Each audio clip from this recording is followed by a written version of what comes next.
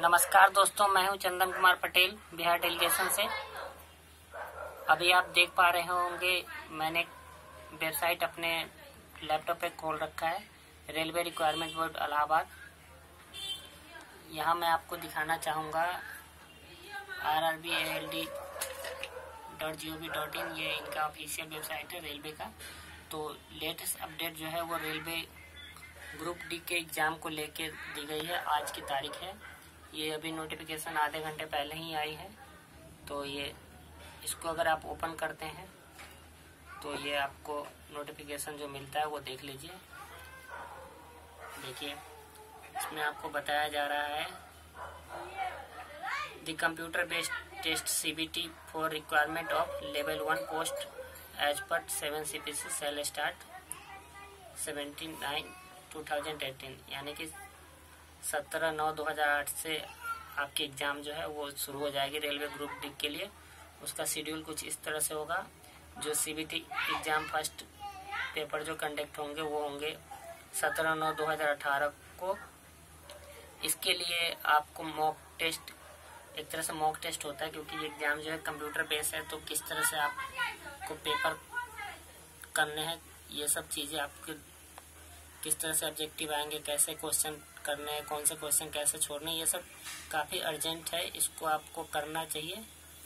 जिन्होंने पहले कभी सीबीटी एग्ज़ाम नहीं दिया, उनके लिए है। और जिन्होंने दिया, वो भी देख ले कुछ चेंजेज होते हैं, वो आप देख ले, बेहतर रहेगा आपके लिए। उसके अलावा, जो आपका एग्ज़ाम किस शहर में है और किस दिन को है, ये पता आपको। 9 सितंबर को लगेगा। यानी कि अब आप कल का वेट कर रहे थे कि सात तारीख तक पता लग जाएगा। ऐसा कुछ नहीं है, दो दिन और डिले हो गई है, आपको नौ तारीख को पता लग जाएगा। और जो कैंडिडेट एस सी या पी डब्ल्यू डी के हैं, उनके लिए पास डाउनलोड वो दस नौ दो हज़ार अठारह से कर पाएँगे। एडमिट कार्ड आप एग्ज़ाम से चार दिन पहले डाउनलोड कर पाएँगे, यानी कि तेरह सितंबर से डाउनलोड कर पाएँगे। इसके अलावा ये, यही पुराने नोटिफिकेशन है जो पहले भी आ चुके हैं, यहाँ पे मेंशन की गई है। उनतीस नौ दो हज़ार अठारह को जो नोटिफिकेशन आई थी कि एग्ज़ाम जो होंगे वो सौ नंबर के हों टोटल नंबर ऑफ़ क्वेश्चन सौ होंगे, नब्बे मिनट के पेपर होंगे और जो पी डब्ल्यू डी कैंडिडेट है उनके लिए तीस मिनट एक्स्ट्रा दिया जाएगा यानी कि एक सौ बीस मिनट के लिए नेगेटिव मार्किंग भी होंगे। ध्यान रखिएगा नेगेटिव मार्किंग वन थर्ड होंगे, यानी कि अगर आप तीन गलती करते हो तो आपके सही एक गलती कर दें। इसके अलावा कुछ इंपॉर्टेंट नोटिस है कि आपको ओरिजिनल आईडी ओरिजिनल आईडी लेके एग्ज़ाम में अपेयर होना है। ओरिजिनल आईडी के तौर पे आप Aadhaar card, voter ID card, PAN card या स्कूल या कॉलेज की जो आई कार्ड होता है, वो भी चलेगी। कोई इशू नहीं है। तो आप लोग बिल्कुल निश्चिंत हो जाइए। आपका पेपर सत्रह तारीख से होने जा रहा है। एडमिट कार्ड वगैरह कब डाउनलोड हो गए सारी डाउट क्लियर हो गए।